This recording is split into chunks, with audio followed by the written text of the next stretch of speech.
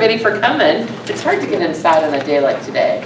Is your garage calling you to organize it? Yes. Oh, And yeah. you're at it? Garage way. And you're, you're, you're, a garage? Oh, Why is It's not that? her garage. Oh, anybody's garage. Yeah. That is a silly question. I'm asking an organizer if they want to go organize their garage. No, their garage is organized. Well, I'm so glad that y'all came today, and um, we have a wonderful, wonderful uh, group of ladies up here that are very talented and knowledgeable. And we have, our our normal format is, we're just going to ask them some questions, and then we'll leave time at the end for y'all to ask more questions. And believe me, you'll be asking lots of questions, because Everybody's got their issues, right? Okay, so let's go ahead and get started. Uh, my name is Cindy Cummings, and I am the founder of the Austin Senior Resource Alliance, and we are the people that put on the seminars, and we do it in partnership with the library. They're so awesome to let us use this library for free. It is beautiful, is it not? Yes. So we're so happy to be here. Next month, our seminar is going to be on how to pay for senior care. How to pay for senior care. So we've got three different experts who are going to be coming. We have an attorney who will be coming and talking about Medicare and Medicaid. We'll have a financial person coming to talk about financially how you can get set up to pay for it. And then we have another gentleman whose expertise is in veterans benefits. So uh, that will be our topic for next month. We're really excited about that. I hope that you all can come. And without further ado, we're going to start our organizing panel. So we've got three great speakers, and first I'd like to start with Pam. Pam is here on the end, and Pam is a native Texan, and she studied business administration at Texas State University. After college, she worked in the insurance industry, both as a claims supervisor and as a salesperson. In 1998, she began her professional organizing business, Britt Lynn. You want to tell us why? Um, it's the combination of my daughter's names, Brittany and Lindsay. There you go. It's kind of close to the new uh, money. What's the new money that we have? Bitcoin. Bitcoin. I was like, maybe it's a play on Bitcoin. I don't know. But anyway, that'd be fun though, wouldn't it? Yeah. If you had been part of that.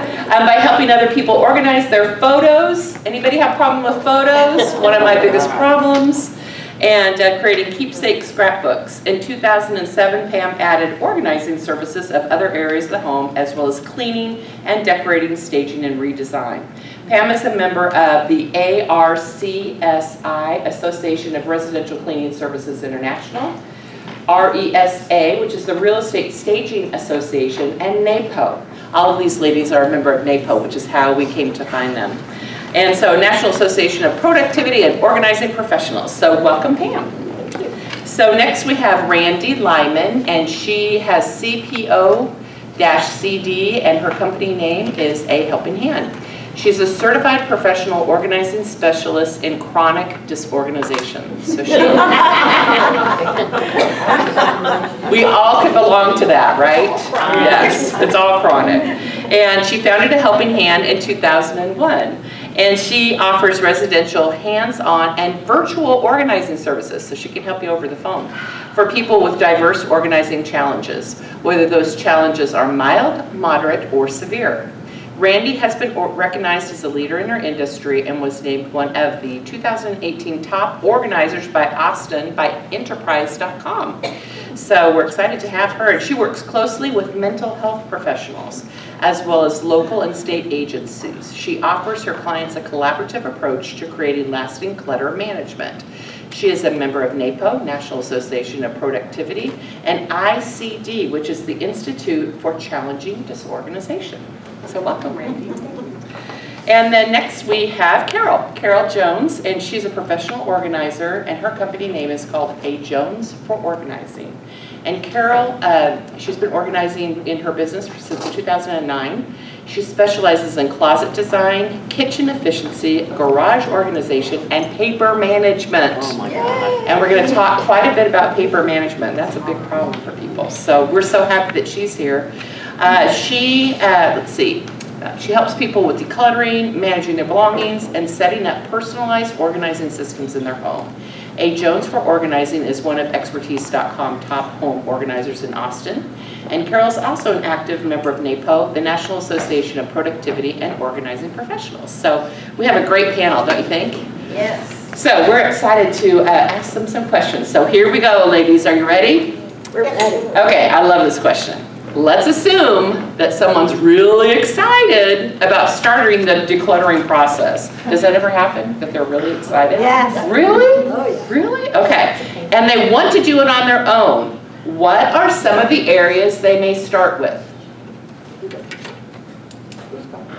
Whoever wants to go first.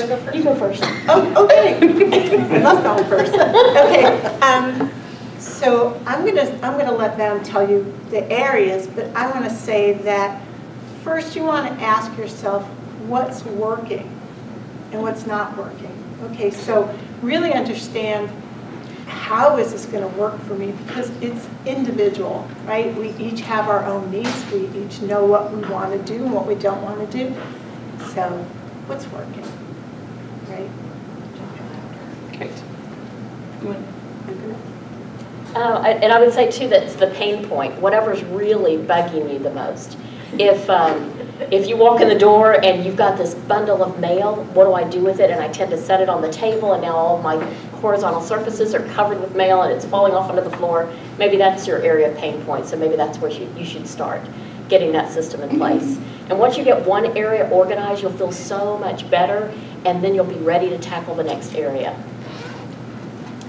So another way to approach that question is, how do I start or where do I start? Start small, start with baby steps. You could start with a, a kitchen junk drawer, right? You don't have to say, well, this whole room is bothering me, so I have to tackle this entire room.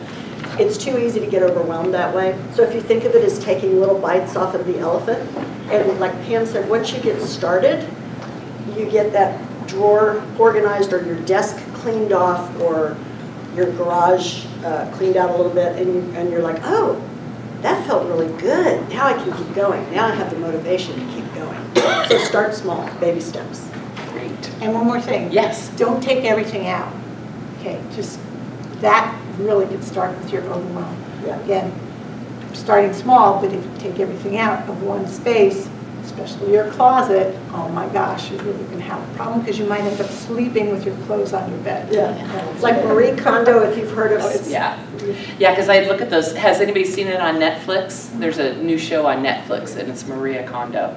And she says to take all of your clothes and put them on your bed, and then you have to go item by item by item and discuss if you like it, if you, you know, then bless it and say thank you for helping me, and then give it away, and, but ooh, that looks overwhelming. Yeah. Yeah, okay. Great, so based on your experience, what are some of the challenges or obstacles people face when trying to declutter? Where do I begin? Right? So that is usually the first thing that my clients are gonna ask me on the phone is, where am I gonna begin? Because they might be frozen in indecision. They might be very afraid, so perfectionism, fearful of making the wrong decision. So if I make the wrong decision, I always ask my clients, what's the worst thing that could happen, right? If you don't, if something goes away, can you buy it somewhere else, right? So indecision. Question? Could you speak up just a little bit louder? You have a nice, soft, gentle voice. Oh, yeah, for some reason, something's going on with my Okay. throat, so, You sure. have a soft voice. I do? You do? I always thought it was. Oh, I always think I'm like the loudest. Yeah. And you're being yes. filmed today, I don't know if you Yes. noticed, Yes. so, Yeah, my throat is something crazy. thank you, thank you for that feedback. Thanks. What do you think? Uh, let's see here. Lost my train of thought. All, all the discussion about that. Let's see where were we at. So Challenges what or is the challenge or obstacles people face when trying to declutter? Yeah, obviously the overwhelm. Um, but I would say too, like even if you're doing your laundry, let's just say you're trying to do your laundry that day. What I find is somebody may think, oh, I have to have a laundry day, right? And then it, that gets overwhelming, especially when you have a, a big family. And so then it piles up and they don't get it done. So just do it, even for an example, um, enough, or one load of laundry a day maybe, just something manageable. Only start the laundry that you know you can fold and put away that day. Don't try to do it all in the same day. So that's just another tip for getting started, and, and I know that's maybe, you know, just clothes specifically, but take that and apply that to other areas as well. So some other challenges and obstacles that occur to me, uh, besides overwhelm, is guilt.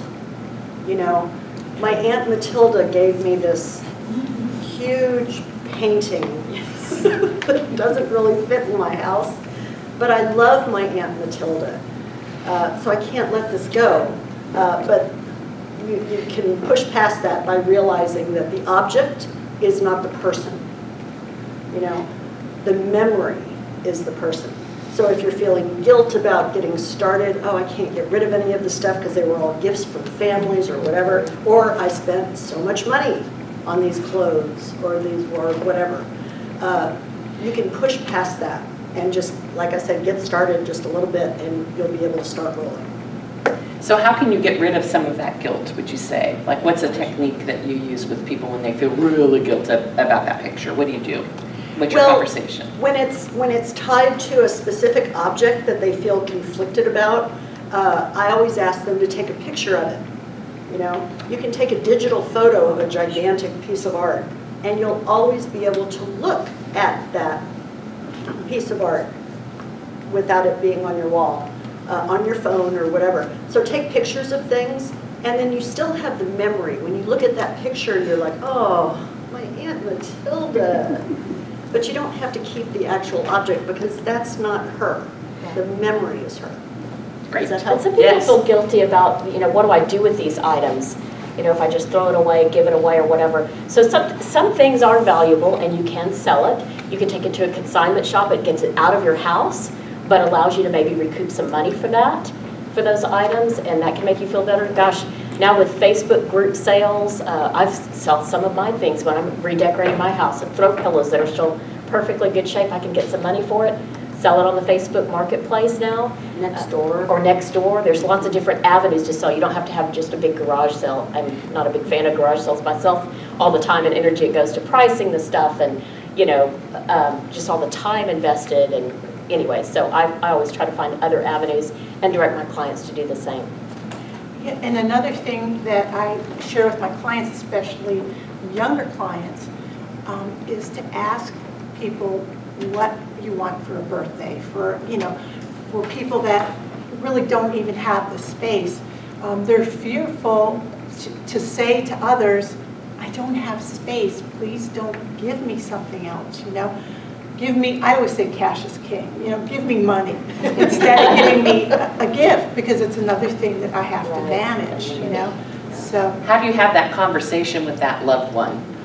just that. Just that, just say, cash is king? Yeah. Give me cash? in a, in a loving way, you know, it's just, you know, I, I have a, pro- you know, I have a challenge managing, you know, I really appreciate events or, you know, or, you know, especially for young children, you know, that uh, grandparents love to give, you know, how many, or give me, you know, let's put together a list, but let's limit the list, you know, um, you know, asking our, uh, our children what, you know, what's the best thing to do. Mhm, That's great, okay.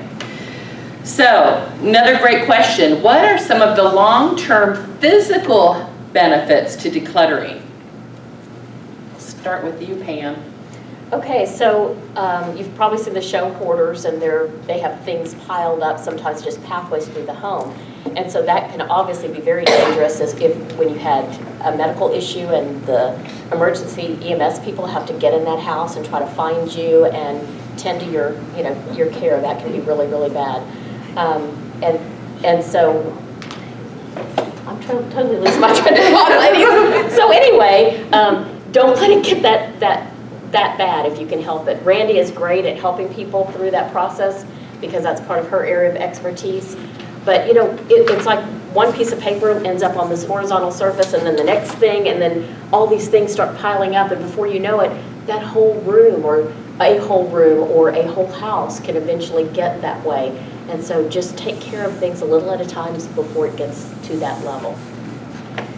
Yeah, so um, one thing that we say is that um, clutter is decisions that we haven't made, right? So um, if I haven't made a decision about something, I'm going to put it down somewhere because I have it, uh, where does it go, right? So we want to keep, keep things close to their point of use. So again, with, not again, but I do specialize in working with people with challenges, whether they're, you know, simple challenges or, or mild challenges or severe, meaning working with people that have hoarding disorders. And so a hoarding disorder is a mental health issue. It, it isn't a matter of just, you know, I have a, a challenge with, you know, putting things down. I don't know where they go. Um, it's a totally different situation. Um, so if it is a, a, a part of health and, and safety, even if it's not to the point of hoarding, but it is, a, you're chronically disorganized, um, I work with a lot of people that they're putting things by the side of their bed, you know, uh, reading. I have clients that have books that are all over the place, magazines, you know, and there are trip and fall problems that happen often with things, you know, even rugs, even just having a rug that you're stepping on and you're sliding. And, you know, we don't want to have that problem. So, you know, be careful, be aware of where your things are. I'm a big klutz. I have to be aware of where my feet are almost all the time, you know. So just, you know, that's one thing about health and safety, you know, that you want to be aware of. So I have two things uh, to answer this question. Long-term physical benefits to decluttering. Uh, uh, well, okay, three. I'll make it quick. it's easier to clean, right? You know. Um, um, there's a there's an acronym uh, called CHAOS. C H A O S. Does anyone know what that stands for? Can't have anyone over syndrome. Yeah, so when you declutter, you're able to have family members and friends come over to your house and you're not feeling, you know, Guilty. guilty. Uh, Another quick one is financial problems can get lessened. A lot of times when we're organizing people, we find checks and cash. I had one client that uh, had a lot of paper and she'd recently gotten married and we plowed through all that paper and we found wedding checks. You know, and so that's that's a celebration. We do a happy dance, woohoo! That's a good thing. Um, and you can get your bills paid on time if you're managing your paper better. Uh, to me, that's a physical benefit too. Randy, you want to tell them about your one client that you told us about last time? Oh, I was Well, going to this- say that for Were you, okay. paper management. Okay, we'll you know. do it, we'll But, say. but another thing off of what Carol said was that as well, I have found, I am sure, millions of dollars Oh, yeah. in my 18 years of organizing of cash and checks. I've also found, you know, birth certificates, passports, jewelry, you know, and also um, part of that is buying duplicates and triplicates and quadruplicates of things that it's like, oh, I didn't know I had that. Oh, it's under that pile. Oh, you know, I forgot that I put that away behind things in the pantry that I can't see or, you know, the expiration food and, and whatnot. So that's another safety issue is, you know, having, you know, buying food that we don't even know has expired. But I will tell one story of a client that had um, canned goods in her pantry, and this is so true. It, ha- they had to be from the 50s, just because of the labels that were there. And when I shook the cans, there was that sound of, you know, like maracas, you know, like, and it was soup, it was, you know, it was a sand sound, so, yeah, we don't want to buy or eat expired, and, you know, that's a, another safety issue. How about air quality? I think air Oh, quality is. oh my gosh, the worst. Especially, I have to wear masks. Sometimes I wear a full, I'm fully suited um, for health and safety because I don't want to, you know, it's a situation because of the contamination level. But even with not that contamination level that high, um, we already have big problems here with um, um, allergies. So not only do you have the allergens situation outside, then you can have all the dust allergens and everything else, mold and all that other stuff inside, so, yeah. Randy, this isn't a question on here, so I hope I don't throw you for a loop. But I'm wondering, what if you know somebody who is a hoarder? How can you get them help through the state? You know, as a Um, neighbor, if I knew that yeah. somebody was, their safety was really in Well, you know, question. So I work with, um, I work with state and local authorities, zoning and, you know, um, police and fire. Um, unless that person is in a situation where um, local authorities are, you know, are involved and um, uh, agencies are involved, it's really hard to get, you know, there's very limited funding. Um, I just worked with Hospice Austin for a a gentleman that needed um, help because he was going to get thrown out of his, um, his apartment, and he wanted to live there, of course, and he wanted to live with his dog. It was very important for him. They did have money. They had a thousand dollars um, budgeted for him, and if I and I had a certain amount of time before he was going to get thrown out. So I didn't care whether my services, you know, only, you know, paid for a certain amount of money because I was going to do anything I could to help him to um, save him from getting thrown off his, out of his property. But unless it's a situation where it's, you know, fire safety or, you know, somebody's going to lose their children and they're up against, you know, the um, agency where the children are going to get taken away, there's very limited funding, especially for the person that has such, you know, the mental health issues that they are, you know, they're going to fight it tooth and nail, that they don't want these people coming in, you know, but, you know, you are going to get thrown off your property um, if you do not follow, um, you know, what is set before you with uh, the uh, local. Did I answer your question? Yeah, so it sounds like you can get the local authority involved, but they may not have the money or the resources to help them, and so they may end up getting thrown It's not, out. it's not Randy Lyman. I can't get them, I can't do anything myself. I have, you know, I'm involved with all of the, the local and the, so, you know, um, and state, and I, I can make calls, but I myself can only make a phone call. But they, all they already know. If they don't know, you know, if it hasn't been brought to their attention, I, you know, I do, especially when I'm in a situation where children are, it's my duty, it's my, you know, fiduciary duty, you know, to, is that the right word? to use? Mhm, yeah. Yeah, right, so, um, so I have called in for, you know, to state for children, I have to, you know, for, but, there you go.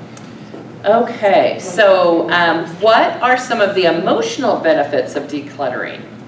You want to start? I'll start. Um, Obviously, reducing stress, uh, like the chaos I was talking about, all that stress can go away uh, because you're not worrying about how your house looks and what people think of you whatever. Um, Family harmony, uh, sometimes, you know, on, on, on any level of decluttering to extreme uh, chronic, uh, there's always going to be family members who you're going to have some friction with, and decluttering can help with that. Uh, And for me, uh, the way I think about it is, you can get to a point when you've, when you're starting to get organized, where you're managing your belongings instead of your belongings managing you. Does that make sense? Yeah. And so clutter is visual noise.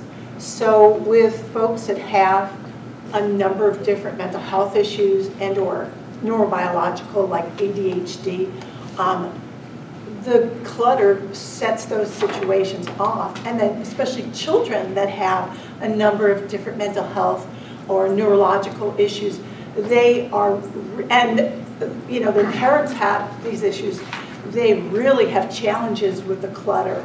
You know, so again, that emotional issue of them coming home and dealing with that, they might have a safe haven when they're at school.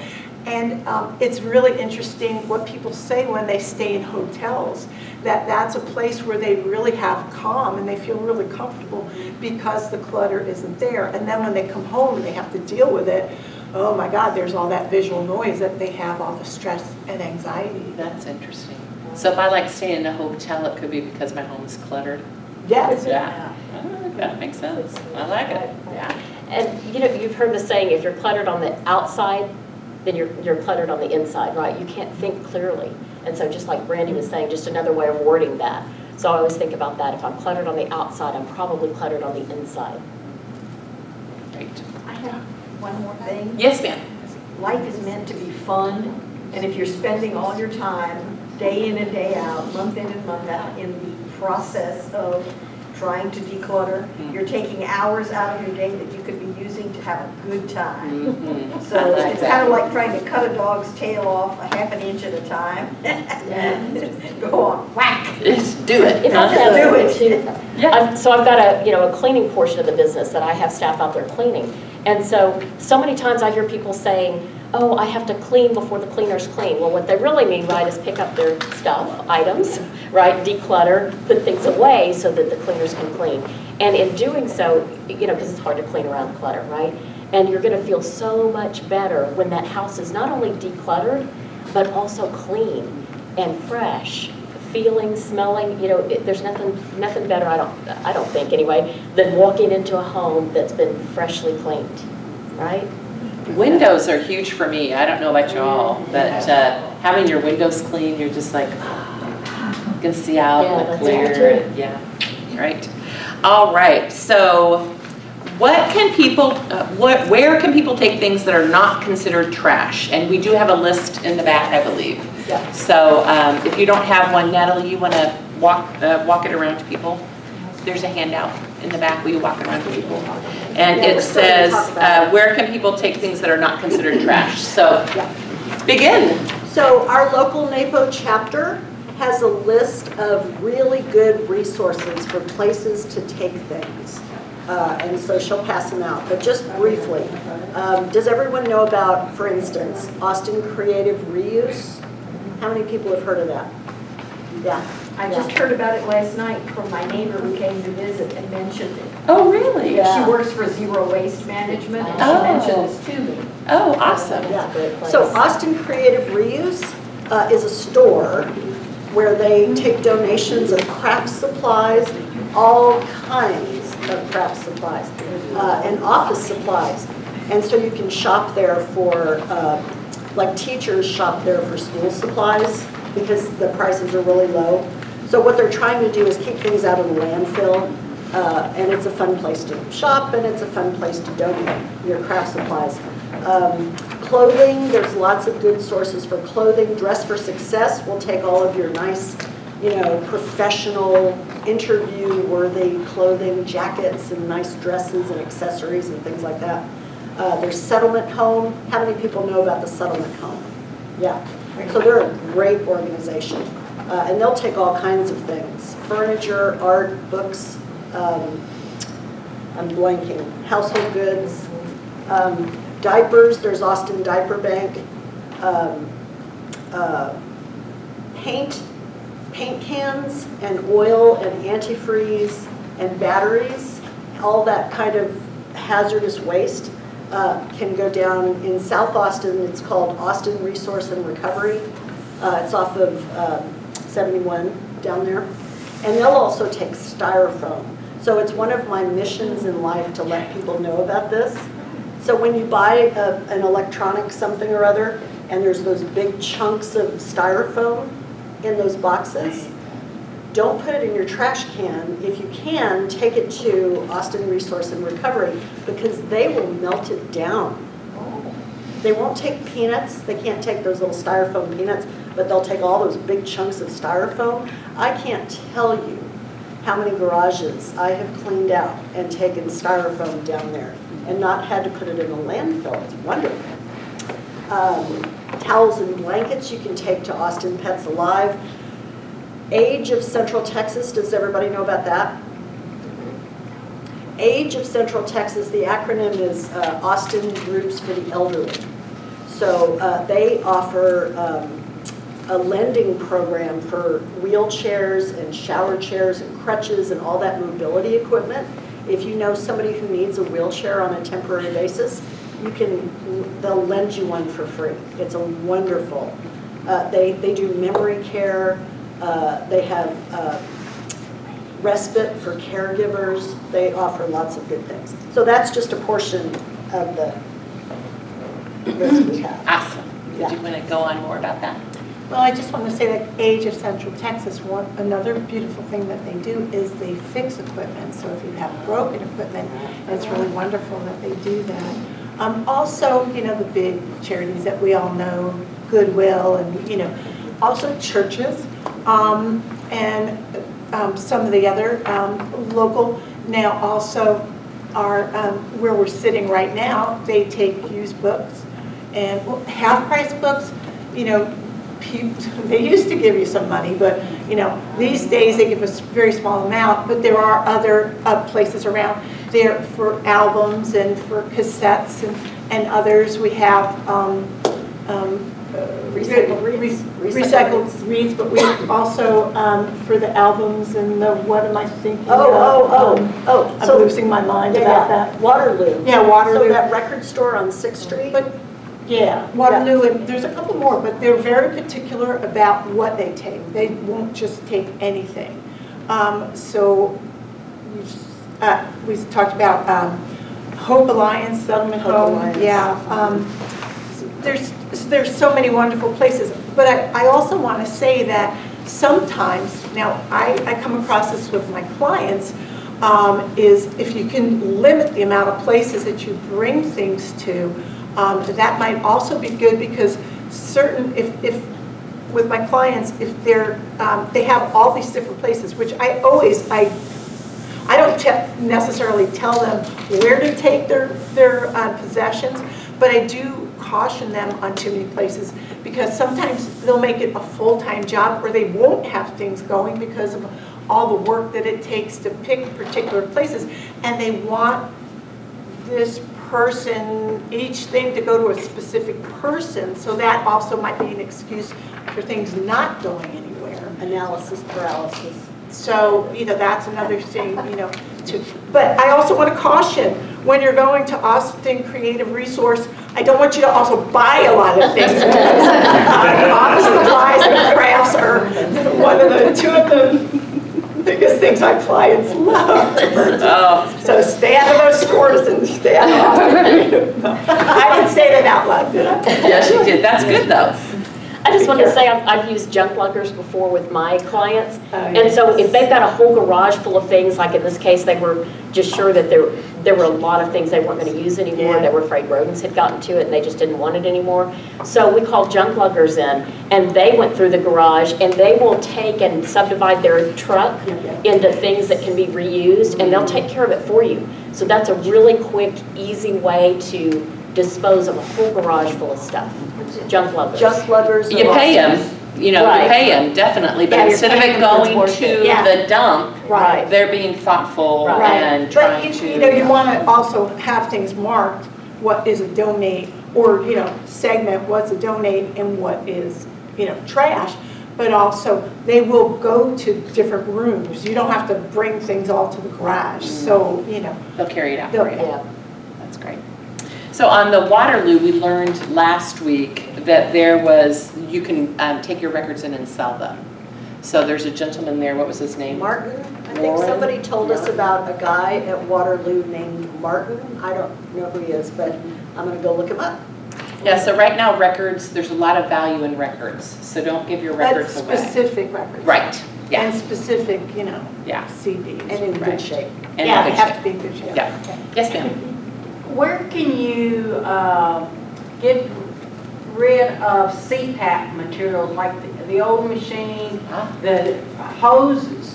I tried to be creative and do something with, maybe make something for my cats to play with, and they didn't buy that. I would probably try, try age. Yeah. Ask yeah. them, They ask might, Age, yeah. they Age. might. Might, And then some churches have loaning programs, it just depends on the church. yeah. And, um, but I would call H and just say, I've got this old CPAP machine, do you want it? And that could be a choice. A lot of that is probably can't be reused, but it- where do you dispose of it, you know? Yeah. Oh, well, um. Yeah, I'm not sure if the machine itself could go to Goodwill, because they do take electronics.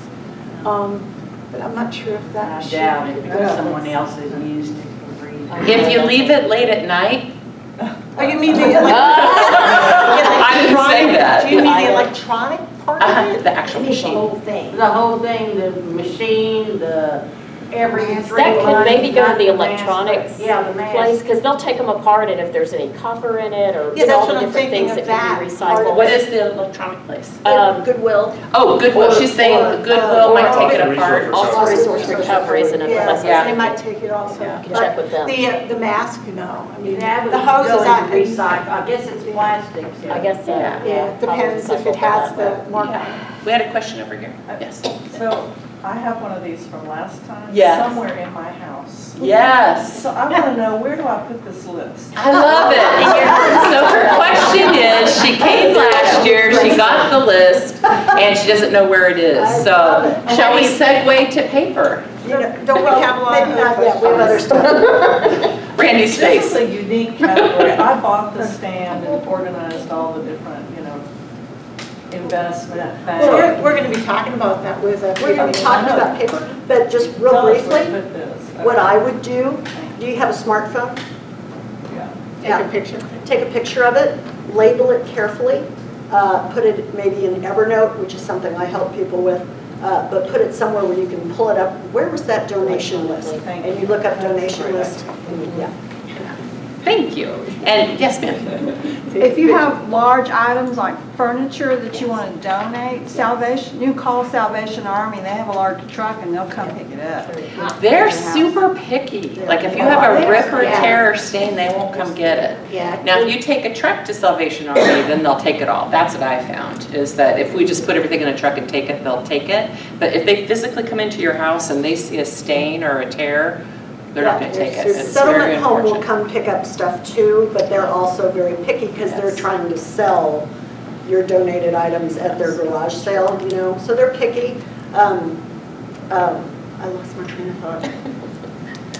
Um, Often, it- do you belong to your neighborhood app? There's a neighborhood app, what's it called, Nextdoor? Next door.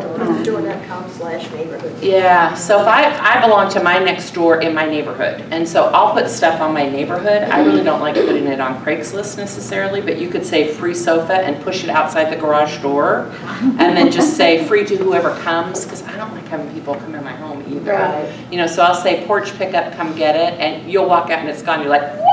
It worked! And then you just delete it from that's the. And if it's like, if it's, no matter what it is, and- and you also want to get rid of it, free, free cycle is a, FreeCycle. is a great um, app, is it, to. Oh, it's an app on your phone, Yeah. Free Cycle, okay. I believe they do have an app. Yeah, yeah, I've only gone to the website. And put it out And on the- your curb And the web, and go somebody to the- come their and get website, yeah. Yeah. Pre, Just- pre-cycle? Free. Free cycle. F-R-E-E. Um, Cycle. F Really R good. E E Do you C use Y them? C L E. Yeah, because there's people who will reupholster or throw blankets, or it'll be a doggy sofa, or, Right. you know, outside sofa or whatever. Yes, ma'am? Uh, One thing that I did when I, recarpeting your house, I mean, taking the carpet up and putting down flooring, when you go into the closets and do that, there is no place for sin. Because then everything has to come out of, you can't just shove it. It's, it's like you have to move. You have to- Yeah. so- And by the way, I would suggest, from my own experience, that when that's happening, get out of your house and stay in a motel. Ah, Um, A decorator told me that's what she tells her clients. One thing I did, when I had some things like a huge salad bowl, we all have a punch bowl, uh, silver platters that I will never use again, I gave them to my church with the idea that if I ever, and I love tri- a beautiful trifle bowl, that if I ever wanted to use them, I can go to the kitchen of the church and bring them back home. In six years, I have never gone for one thing. But that's how you gave it up, there. because you had in your mind a story saying, if I need it. Yeah, If I that's need true. it. Yeah, okay, good share. You could go visit it. Right. Did somebody else have a question over here? I feel like we had another hand up. Nope, okay. Okay, so, um, what suggestions do you have for someone that can't decide whether to keep, donate, or sell sentimental belongings? Keep, donate, sell. Who wants to go first? Uh, So what makes the item sentimental? Um, So really think about that. And do I have room to store it?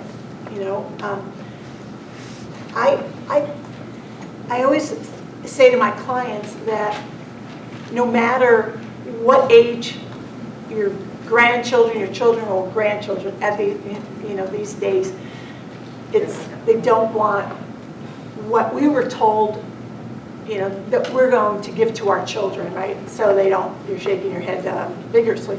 Yeah, but here's the thing, is now's a great time to ask your children what they want, if you haven't done that already, right? And then they can decide what they want, instead of having a full home, um, that then they have to decide who's getting what. Um, So now they can make a- a decision, and so if something is very sentimental to you, and you haven't told them the story of it, tell them the story, tell them the stories. I just, like a couple days ago, had a client with all these photos that she, I'm sorry if I'm telling the photo story, but you can jump in with photo stories, but she was saying she doesn't know any of the people in the photos, you know, and, but what do I do with the photos, she was saying. So I, you know, I said, well, if you don't know the people, then you can make a collage, uh, you can, you know, but think about why is it sentimental, you know? I'm not gonna say take a picture, because somebody else on this panel is gonna say take a picture. But, Yeah, I didn't say that, so you can hear it again. I'm sorry.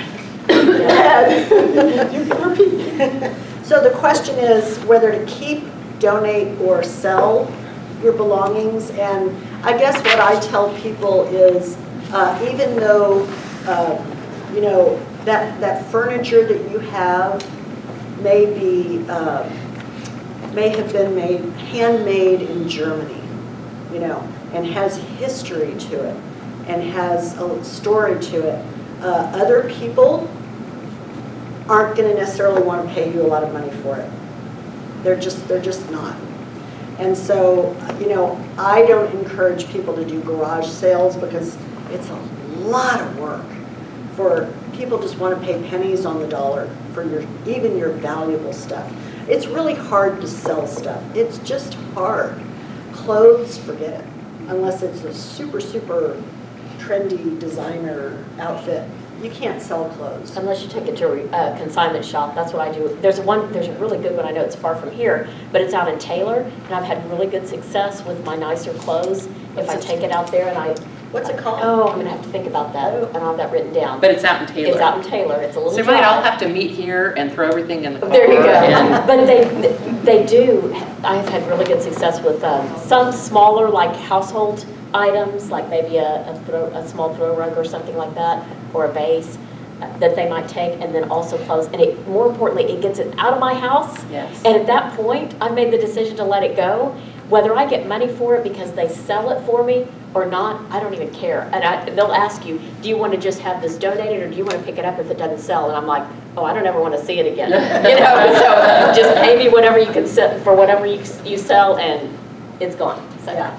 But just don't set your expectations up really high mm-hmm. about making a fortune True. from selling all your stuff.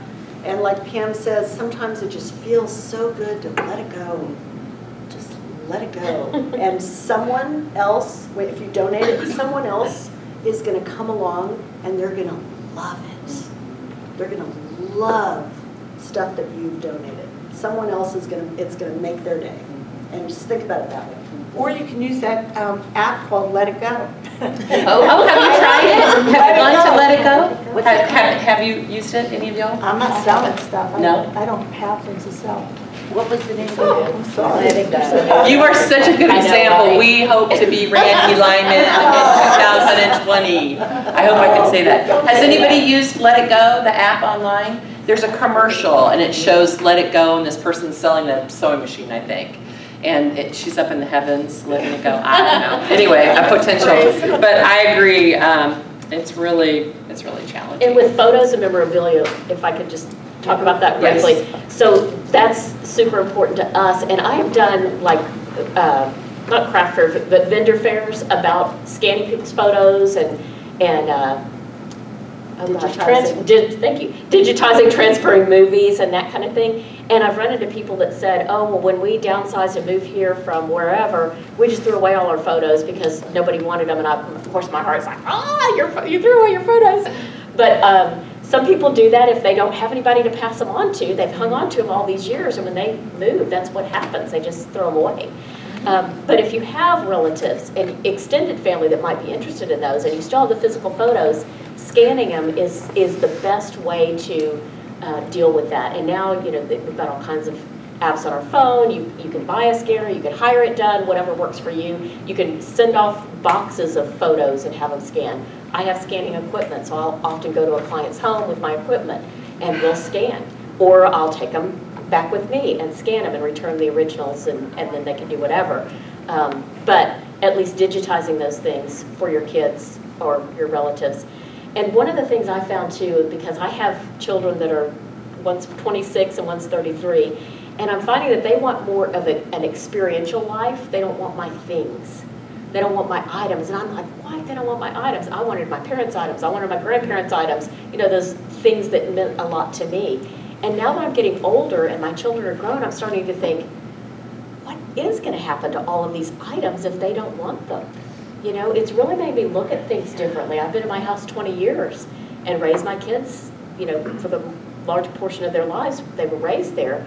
And I'm not like Randy. I had children and oh, I've been in the No, house in all I- I- those years. I'm gonna so sell my furniture and stuff when I, you know, at some point, Yeah. I'm selling, think of, I'm, I'm a big donator.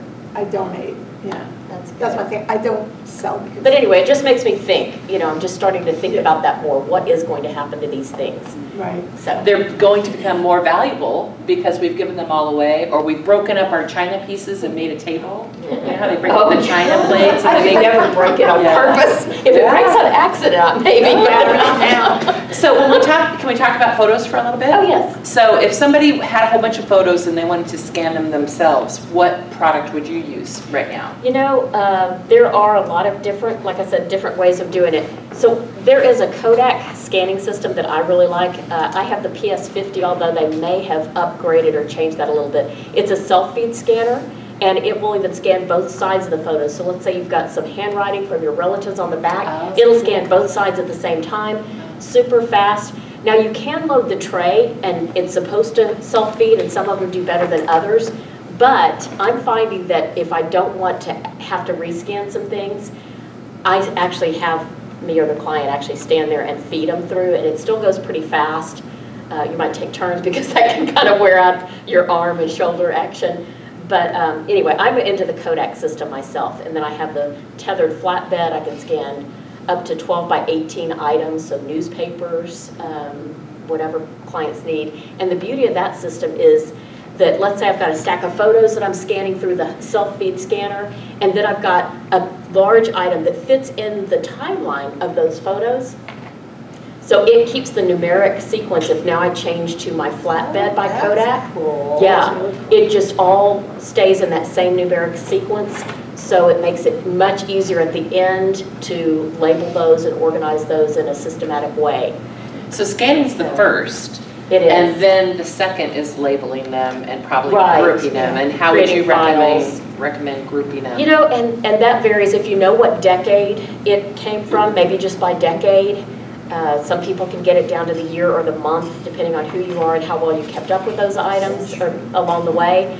Um, And then some people do themes, you know, they might just do, oh, here's all my Christmas photos, because we celebrated family Christmases, or here's all our Easter photos, or here's all our, our vacation photos. And so you might want to do it by theme, or birthday photos, I've even had clients divide them that way. Uh, So anyway, that's just another way of doing it. If, if it's too daunting to divide it by decade or certainly by year or month, that can really take too much time. So things to think about. So you can hire this gal, she'll come with her equipment and sit at your house, right? So what about slides? Oh, and slides, can- of course, can also be converted. Um, The Kodak system actually has, it's very expensive, but it ha- actually has a carousel slide scanner where you literally just load that carousel and stick it on there, and it just takes those, just pictures of those slides in a split second of time. You can send those things off as well. There are services that do that, and some people are comfortable with that, and some are not. So depending on who you are, if you take them to a Walgreens, uh, uh, gosh, Costco. Sam's, Costco, they're gonna send them out. Uh, Just know that. It's not, you know, or you could send them yourself through Legacybox, or you could hire one of us that actually has the equipment, or you could buy your own. Um, I hear that like in Sun City, they actually have a technology lab that people, residents can use for free.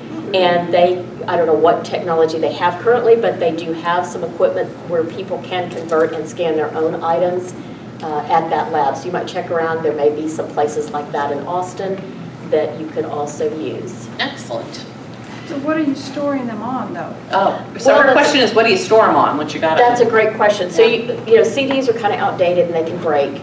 So either on a thumb drive, I have my entire computer backed up to the cloud. I use iDrive, but there's lots of different methods for backing up. And the key to backing up your photos electronically, ask the question, are they going to store those photos and give them back to me at full resolution? Because there are a lot of online storage options that will not store your photo at full resolution. So what that means is, if later on you want to retrieve it and print it, like Facebook, for example, if you're using Facebook as your storage, you know, I tell the younger people this, your whole storage system for your photos. Um, First off, what if Facebook does go away one day, then they're all gone. But that if you want to print those out, they may not print very well. And certainly you can't enlarge them, right? You might be able to get maybe a, a little bit bigger than a slide size, maybe. But, um, so anyway, that's stuff to think about as well. So Yeah. downloading to to iPhoto? Uh, yeah, that, I mean, that should work too. Just, just ask that question, just read the fine print. Am I going to be able to get this back at full resolution when I, when I want it? I use a company called Forever.com, and I have storage with them for my specific photos. It can be expensive to upload all of your photos to that storage system, but they will hold them, they will hold my home movies that I've digitized at full resolution, so I can get them back. I can have uh, those shared with other family members, key family members, so if something happens to me, my daughters will have access to those images, and I don't have to worry about it. It's backed up by a, a forever, the, a guarantee fund. Um, So anyway, that's just one of the options to check into. And then photo books are great too. Taking Oh, sure, the physical photo making photo books, and now you can make the digital books, yeah. Do you have an article on your website about all that stuff you just talked about? Because if you don't, I should, I should, you're Yeah, that'd be right. great. That's a I lot will work on of that. really specific, valuable. It- You know, the things that you have in your head that you've collected over time, you just think, oh, everybody knows it, it's not important, I don't need to write it, somebody else has. So that, thank you, I I will work on That that. was a lot. And they have marketing materials in the back, right? You have True. business cards and things like that. So please grab their information in case you want uh, to further uh, talk to them. Okay, so, did we answer the Oh, question? has a question. Sorry. Okay. Is Forever and iDrive the same part of this? It is not, it's Okay. separate. iDrive will back up your entire system, and I have lost, you know, my computer has died, and I got everything back. It'll take days, if not weeks sometimes, because it's stored at full resolution. So iDrive is a whole computer backup system. Forever specifically for your memories, your photos and your videos. I So, would suggest not just having it in the cloud, but Right. getting yourself a hard drive. Oh, yes, yes, yes, thank you. So you've got, you've got two different systems. Yes, So if something absolutely. bizarre happens to their server room out in Utah, Right. you've got it here, and when they come back up, you go, oh, we'll move it back there, and we still have it in two Yeah. places. That's That's great, so thank true. so what you can very do is go purchase a hard drive that plugs into your computer, and then I even have mine in, in uh, safe deposit box. Oh, I was just going to say that about, yeah, I have, I have, a- Okay. yeah. When it Have a lot of comes, family videos. yeah, redundancy is really important. When it comes to saving your photos and documents, it never hurts to have redundant, different systems holding all that stuff because systems go away. Things fail. Years ago, I had my, many years ago, I had my digital photos in Epson. Epson had a, a storage thing at the time. And then they sent emails out to people saying, oh, we're shutting down this service, and I didn't see the oh email. Oh, no. All those photos are gone. Oh, no. Completely gone. So nowadays, Yeah. I have a lot of redundancy. Yeah. That makes sense. Okay, so what recommendations do we have for parents that want to pass down their family heirlooms to their adult children? I think. I've kind of talked about that already. Let's go to paper. Let's- Well, well, well, I still, let's go ahead, yeah. So what recommendations do you have for a parent that wants to pass down their family heirlooms to their child? I guess the first is ask. They're probably going to say no, But right? like Randy was saying, you know, uh, ask them now. Don't make them decide after you're gone. There's that term that you may have heard called Swedish death cleaning. Has anyone heard that? It's, uh, uh, but it's to, to go through with your adult children and talk about, does anyone want this dresser? Does anyone want this uh, old mahogany carved bed, you know? Uh, And ask them now, while, while you're still sharp and, and it's not, it's not, it's gonna be less of a burden to them if you do it now and not wait till later. My attorney that's doing the probate had a really good idea, and that is to list things that might possibly be of sentimental value. My family, the family Bible that goes back to the 1700s, that's a gold mine. So, and he said, I have four children, and he said, take the oldest one and let them have your list. They get to pick one. The second oldest child picks the next one down the line, and then it reverts back to the oldest one again. And if they want to trade among themselves, that's okay. Um, And he also, but that way, there's no, they live all over the country. I I can't, even- you know, they're not in the house. He said the other thing you can do is with the family Bible, where those pages are priceless, Xerox just those pages, because nobody wants to read the whole Bible. But they'll have those pages with the handwriting from the 1700s or whatever. That's so And that's cool. what I That's would. good, yeah. Yeah, that is And really handwriting's great. awesome. Yeah. And another, another thing that uh, I suggest is to put labels on things like furniture, you know, underneath who's getting it once they decide on who's getting it, you know. Or where it came from. Yeah, and yeah, The the story of the it too. story. you know. Make sure that label is stuck under there. We- There are some really great sticky, you know, adhesives that will really keep those suckers on. Your Your Bible sounds really interesting, and I know that in my family, um, a little bit of uh, genealogical research to start out with a cousin and spread across many other cousins has meant that all of a sudden, things like that have value not just to your children, True. but to a wide variety Yeah. of people. And since my cousins are about my age, well, you know, they, they have the same interests in many ways. So, I mean, I would say, you know, Xerox them or make digital copies and see if, see if your cousins and, and, you know, second cousins and cousins once removed want, because they're the sort of things that people really like to, we, I've got some wonderful, I have a picture of my great, great, great grandfather that, you know, I never, would- I didn't even know, no one knew existed. You know, these things get traded around. And I just want to say, in addition to asking them and labeling them, please videotape your mouth saying, this person has asked for this, and I am giving them this. Because what I found was that several items that meant a lot to several of my sisters and I went, no, mom gave me that. No, mom gave me that. there So you with your mouth and in your face, say, that. I'm giving you this because it meant something to you. I'm giving you, you know what I'm saying? That's such So are you hearing what she's saying? To go ahead and videotape. And mine is part of the will. It's, it's, it's an addendum onto the actual will. Absolutely, That's that great. is a big part of that, yes. Such And that, good and that's, you know, speaking too of, you know, the story, you know, Yeah. and even you and your sisters, the story of, you know, family, because, you know, I have so many relatives that have gone that we don't know the story, you know, and that, you know, that story is so precious. So Yes. getting together, even, you know, family events and telling the stories, and, yeah, Yeah. it's so great. Okay, so let's switch to paper. Oh, When you, No, I'm good. oh, oh, did you have something? No, no, no. Oh, are you sure? I'm good. Okay, great. When you walk into your home each day, mail is piled up all over the place. Oh, what are some tips for handling mail?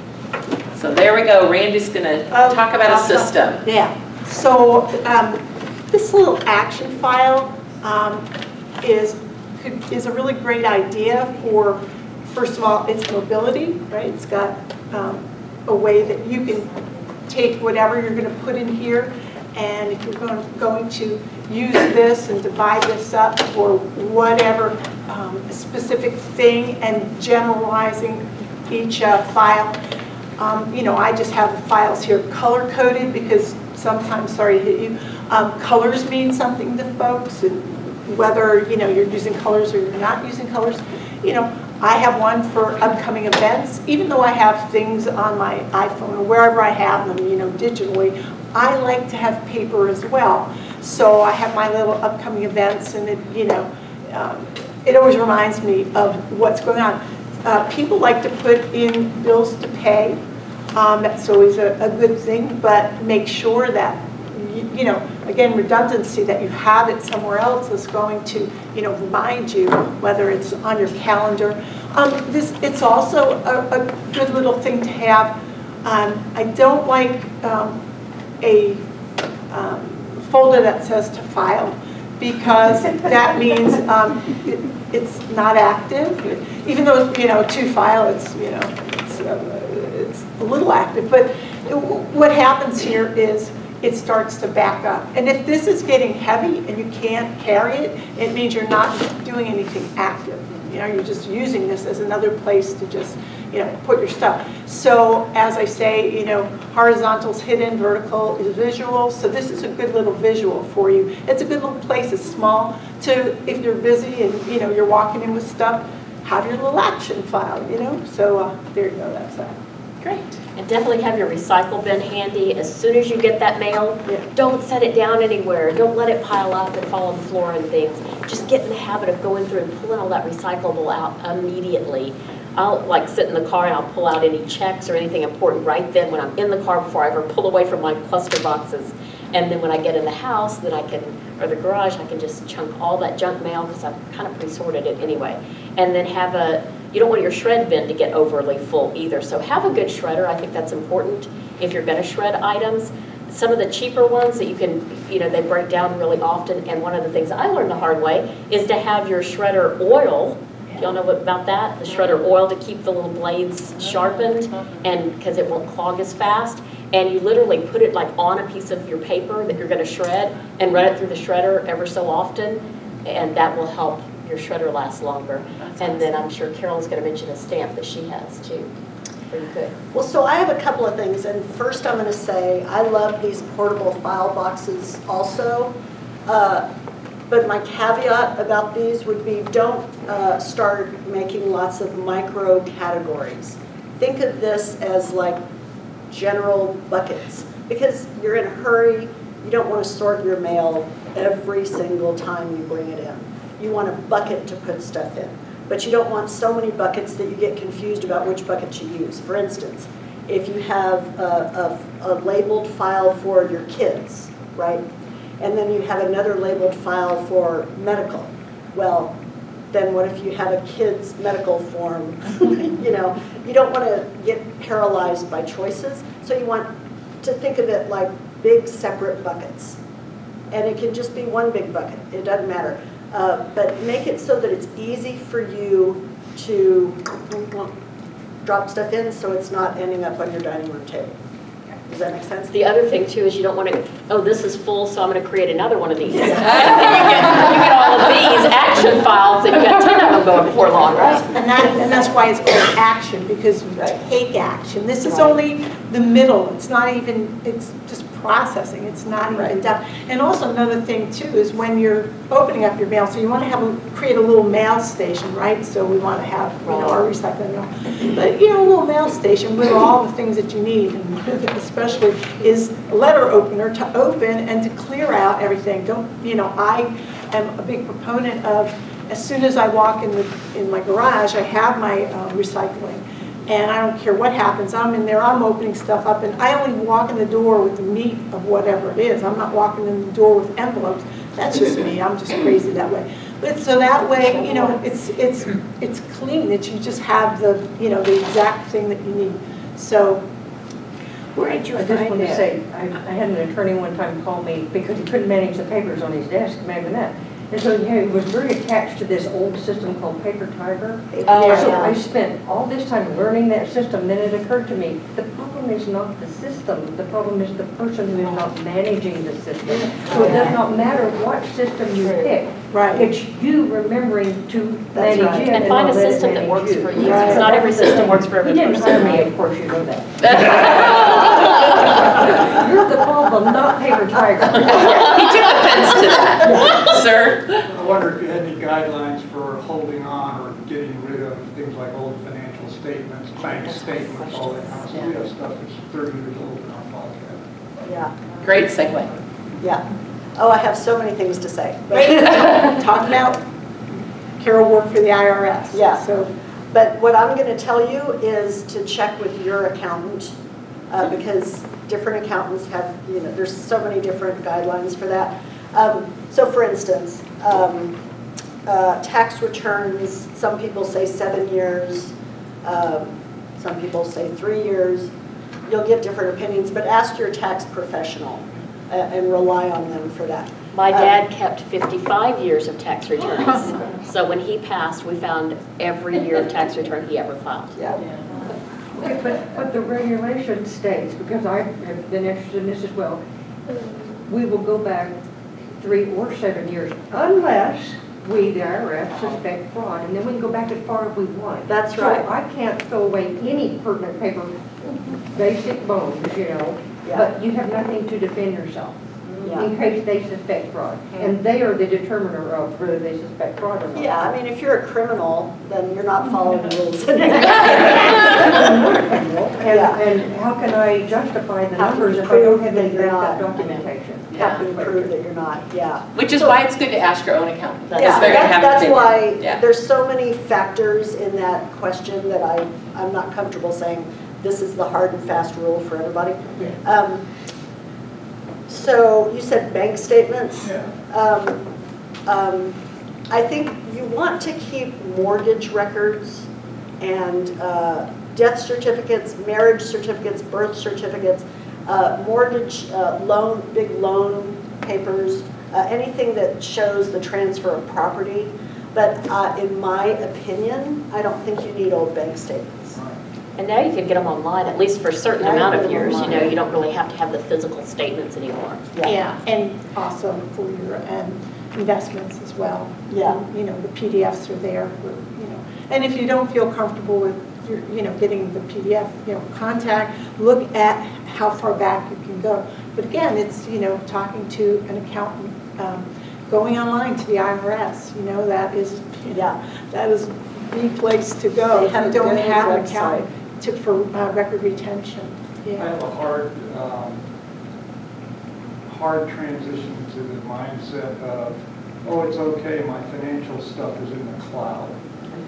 I I don't trust that. Well, you know what I do, uh, because I, I understand that hesitation. Uh, With my own stuff nowadays, my bank has everything electronically, so I can go into my bank website and download all those bank statements and download them onto my computer, label them carefully, because otherwise sometimes it's just a string of numbers that won't make sense to you.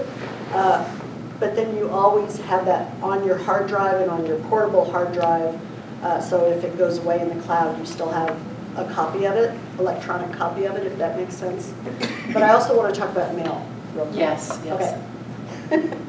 Near and dear to my heart. So this whole question about uh, what are some tips for handling mail, one of my things that I like to do is to stop all of that mail from coming Yeah. right? So there's a couple of ways to do that. Uh, If you have catalogs that you don't want to get anymore, sometimes they start selling your name and there's mountains of catalogs. You can go to catalogchoice.org, I think it's .org, catalogchoice.org. Uh, And uh, you can enter your uh, numbers and address stuff off of catalogs and they'll stop it. So you can turn off catalogs that way. Um, but then also, do any of you get credit card solicitations, credit offer? I have clients who, you know, just get mountains of those. And you need to stop them because, uh, I mean, unless you're a college student and you need a credit card, uh, most of us don't need all those credit card solicitations. And they can possibly be used for identity theft because they're like blank applications that somebody could fill out as you. So you want to stop those, and the way to stop them is a website called opt-out optoutprescreen.com. Opt out pre-screen. OPT. O-P-T, O-U-T, P-R-E, S-E-R-E-E-N, yeah. So that's the web, that's the official government website for credit reporting agencies. And you can stop your credit card solicitations there. It really works. I have a lot of my clients do that, and the amount of the incoming mail just exponentially gets So smaller. it's opt out, what did you say? Opt-out pre-screen. Like dot com. Dot com. dot com, O-P-T, O-U-T, pre-screen. And so it's a little scary at first because you have to put in your social security number. But they need that to make sure that it's really you. It's not a scam. It's, they're not gonna sell your social security number. It's the government agency that wants to know that you don't wanna get those credit card solicitations anymore. And it's free, so it's safe and it's free. Uh, If any websites tell you to, that you need to pay money to turn off your credit card solicitations, that's a scam. Okay. This is free. Did you say optoutprescreen.com? I think it's .com. Because government stuff is usually .gov, and Right. I'm wary of .com. Yeah, yeah. It's not, it's not a company that's gonna sell, you know, I understand .com sounds like a company. Uh, This is the official, uh, all the credit reporting agencies, I don't know why they have it as .com. Uh, But it's official and it's safe. But also be careful when you Google it, because you might think that the one you're Googling is the correct one, and Yeah. it's not. Yeah. It's- There's Just like type it in in the 10 address bar. Yeah, Yeah. there's, you know, 10 scans and Yeah. whatever. Yes, it is, it is dot com. Yeah. Yeah, What And about it's char- safe. it's What about Equifax, charitable? Experian, I'm here to Novus, tell you that it's safe. Yeah. And how about like the hand stamper things? Getting this stamp and it has like Oh, all those yeah. little, If you want to obscure, uh, uh, like your bank account number, you know, on your bank statements or whatever, they make ink rollers. I like the rollers oh, better like than the roller, okay, stamps. yeah. Because it's just kind of fun, you know? And it obscures any sensitive information so that you can just throw things away. So it covers it with black ink. Uh, And not just solid black ink, but uh, like lots of dense little figures um, so that nobody can read that sensitive information. And you could do that too if you're scanning and uploading to the internet, if you're worried about people getting into your Yeah, files online. that's true. Can I ask, what about charitable things? Like, I have my four or five regular charities that I donate to, but unfortunately, what's happened is I'm getting solicitations from 100 charities. Yeah. Is there a comparable thing as that opt-out pre-screen for charities? I don't know if DMA works for that or not. There's a DMA choice direct mail Choice. Something. I, I want to say it's DMA, I don't know. Uh, I don't know if that turns off charity things, but it will, uh, it will turn off any um, things addressed to your name. Yeah. So you can't turn off things that say resident. I wish you could. All those coupons and nonsense that's addressed to residents. Uh, But I think it's, I want to say it's di- direct mail. So direct mail choice, direct marketing choice. Yeah. direct marketing Yeah, choice. yeah, that's what I wrote down from last time. Okay. This is different than the government agency thing Yeah, that you're talking yeah. about, and you don't have to put your social security number in. Okay, great. What about all Sorry, those was insurance direct uh, marketing. offers?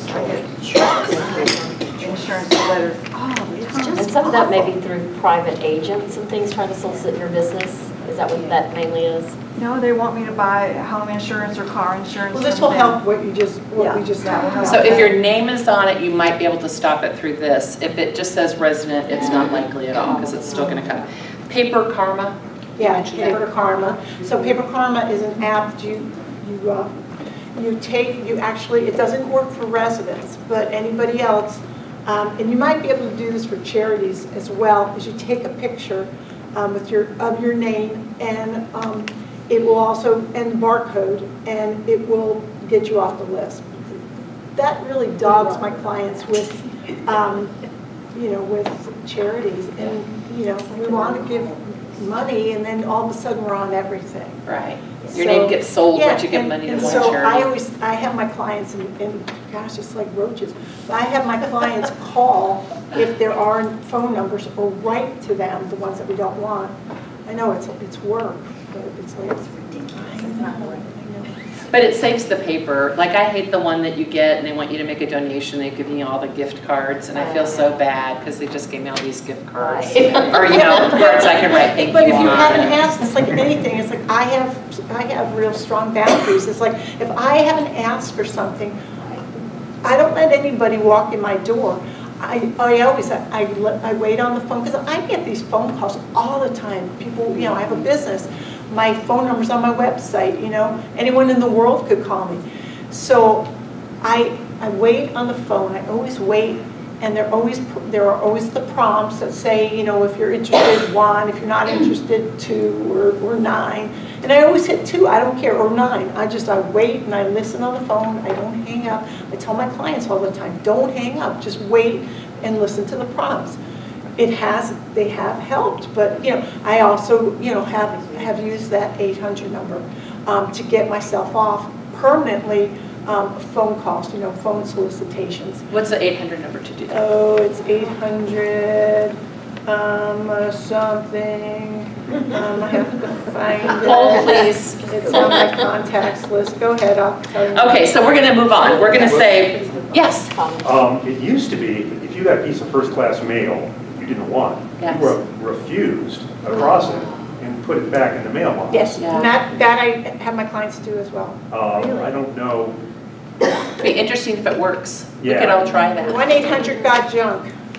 No, that's not it, that's not it, don't write that down. Hang on. Hold please, It- hold please. No, it's a client, it's a junk company. No, no, go ahead, go ahead. Okay, I'll- so I'll- what are some of the paperwork challenges your clients experience? Carol, why don't we ask you that? Paperwork challenges? Yes. Um, So uh, I'm going to answer this in a, in a slightly different way because this is something I, a, a point I want to make. Um, So all of my clients have different uh, preferences on what paper they want to save. And we are all here to tell you that organizers do not come into your house and say, you have to get rid of all those receipts. You have to get rid of all this junk or clutter or whatever. We don't do that. We help you make the decisions about what you want to keep and what you want to get rid of. Having an organizer there helps keep you motivated and we keep you unfocused, but we're not making decisions for you. And I'll give you an example.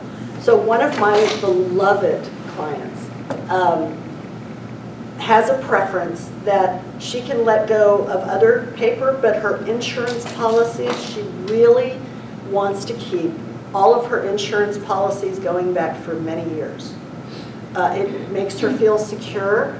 She can't even articulate why. She'll, she'll let me shred her bank statements and, and all of that stuff, but she wants to keep those insurance policies because it makes her feel secure. And I'm gonna let her do that because it's her house. It's not my house, right? It's not my decision to make. And so if she wants to keep those insurance policies and it makes her happy, that's fine. We'll work on other stuff. Um, It's so- almost like taking, fighting the fight you need to fight and letting some things just kind of go. Yeah. Just because people are weird about something, something happened at some point in her life that made it be that she wants that. Yeah. Yeah, great. Randy? Um, so that number, Oh, and it's the do not call registry. It's 888-382-1222. Um, so listen to it, you can get off, I think, five years of forever, so I'm forever. Um, it, it, it works for the most part, except, except these people that keep driving me crazy like Google ads. I know. Every freaking day. All right, Yeah, anyway, ya. so that's that. So what's, which question? We're talking about a client and uh, what was the paperwork client that your, uh, what was the paperwork challenge your client experienced? Um, so, um, the, the fear of what if I get rid of that piece of paper? So you were talking about that before, right? About, so what if I get rid of 30 years of whatever? Um, so what, so the question again, like just any belonging, the question of what's the worst thing that could happen, right? So if I don't have this bank statement, what's the worst thing that could happen? It exists somewhere else. It resides, you know, somewhere else. And if it doesn't, can I call somebody up to get it? You know, client of mine, she lost her passport. She lost her passport. She got, she called and she got her pass, a new passport, or she went and got a new passport.